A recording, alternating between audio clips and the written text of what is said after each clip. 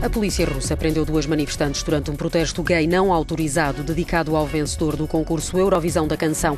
A vitória da drag queen austríaca Conchita Wurz provocou uma onda de hostilidade contra os homossexuais na Rússia, país que adotou uma lei controversa sobre propaganda para homossexuais menores que causou fortes críticas no Ocidente.